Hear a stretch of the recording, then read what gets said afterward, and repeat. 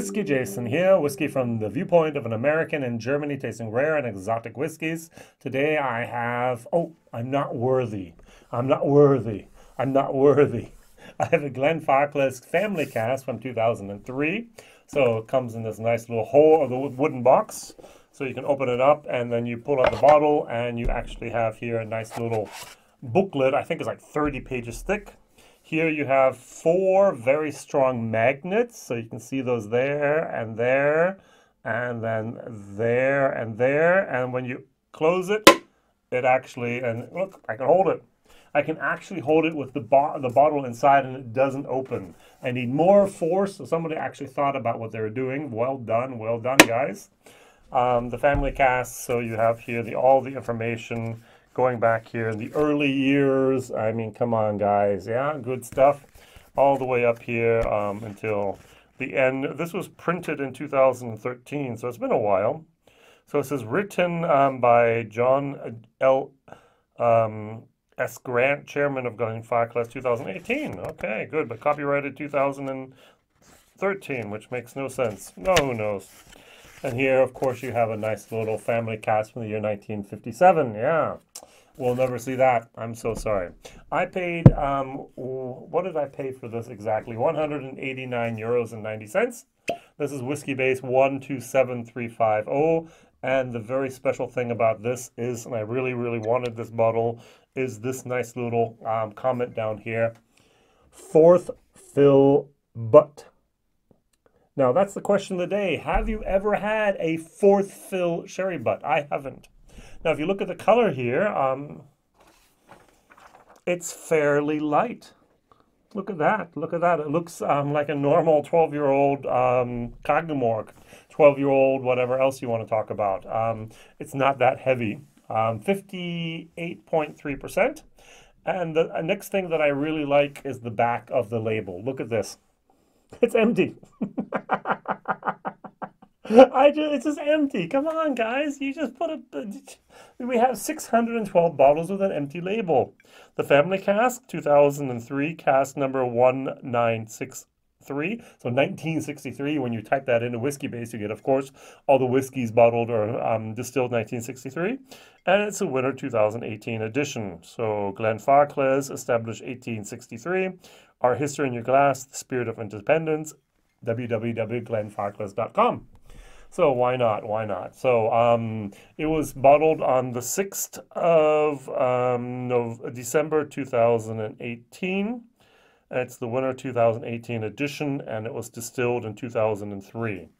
Why they don't have the exact date on here? If it's a family cask, they should know. But who knows? I don't know. Um, what a shame, what a shame, what a shame. Good. Um, the nose? Now, the thing that really surprises, disturbs, and um, is going to haunt me here is I'm getting like zero, zero, zero sherry. This could have been, for all I matter, from my blind tasting here, a perfect example of a bourbon cask maturation. I have some apricots. I have a little bit of a pineapple moment. This is basically 2003, 2018, maybe 15 years old. Cask strength 58.3%. 190 euros. If I was to nose this and to taste it, one second.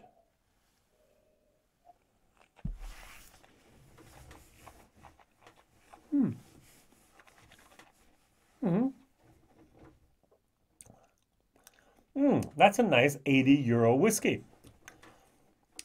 No sherry, hardly any sherry. I don't I don't get any sherry. The wood influence is very, very minimal. I would have said this is a reused hogshead, a tired hogshead. Um, a couple more years would have been a little bit better, but this is nice. And that's the problem. If I'm going for a Glenfarclas family cask, I'm going to, I want sherry. Glenfarclas uses exclusive sherry cask they buy at the bodega down at the at Jerez. Um, they work with a distiller with a bodega down there for like last 45, 50 years, generations. And then they use it the first time, the second time, the third time, and then the fourth time. And I must really admit that I'm a little disappointed about this fourth fill of sherry butt, as I do not get the sherry moment. Um, I do have a second one, a second family cask that I also bought and also did a bottle share with, both of these. And this is 2004, and this is a refill sherry hogshead. So it's a little bit darker, and I'll be doing a second video about this. This will be my comparison um, whiskey for that second video. So make sure you watch that as well. Um, nice. This is this is a a B minus whiskey. Um, let's add a tiny bit more, and a little bit of water. So perfect. I prefer this around 50, um, 52%. So maybe that's the reason why I like um, Glenfarclas 105 so much. It's 60%. And I do like to dilute it down a tiny little bit and then... I It's tired casks. A tiny little bit of almonds. I get um, apricot jam.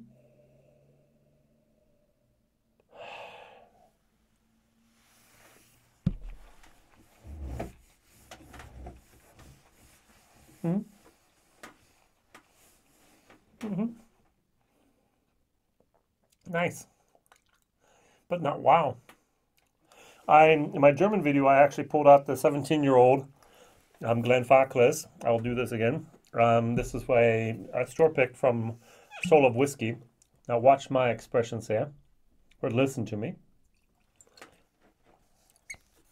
One second.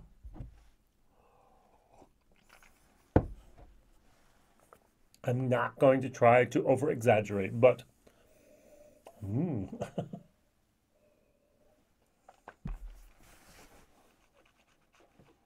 mm. mm. mm. Mm. Ah, I like this is the sherry. It's not a monster, but it's very, very well done. Uh, price of 60 some euros. Excellent, excellent price. Value for money for what you get here. It's only it's only 43%. Um, this was its 58.3% um, is just not doing it for me. Uh, it's not giving me the love I actually wanted. It's a good whiskey. Don't get me wrong. It's an 80 to 90 euro whiskey and not a 190 euro whiskey. That's my whole problem here. And my second problem is if I'm going, I'm, if I'm going to buy Glenfarclas, I want to have that sherry kick I just don't get it here.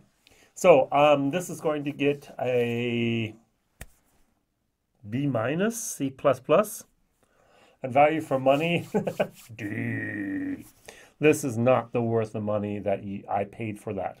So question of the day, have you had any other fourth filled um, casks that were actually written on it for fourth fill? I recently did a second fill Pedro Jimenez here from Loch Lomond was a store pick as well from over here in Germany, but I've never had a third fill. And this is the first time I've actually consciously tried a fourth fill.